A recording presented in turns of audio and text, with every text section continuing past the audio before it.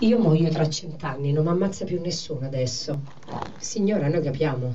No, non capite, nessuno può capire. Non mi ammazza davvero nessuno adesso. Io vivo cent'anni ancora. Non so perché lo dico e perché lo penso. Forse per dichiarare guerra al destino dopo che me l'ha dichiarata lui a me. Parlo semplicemente a me stessa, ai miei figli, a Bovo.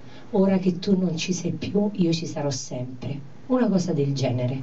Spero che lui mi possa sentire mentre se ne va, mentre l'orizzonte del tempo infinito lo avvolge nel suo nulla.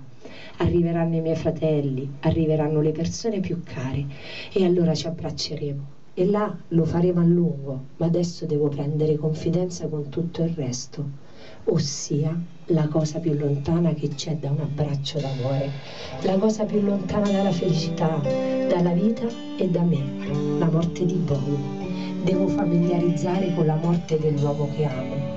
Come si fa a rispondere a una richiesta del genere?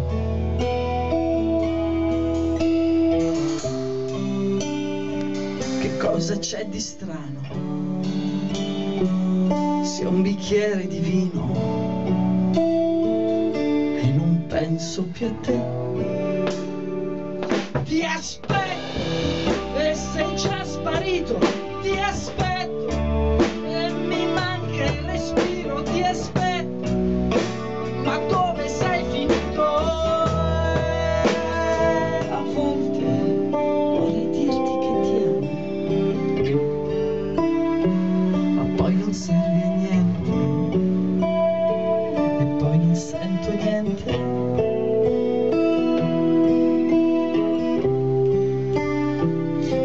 non starò mai.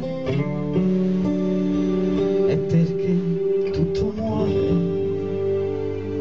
Un briciolino più veloce.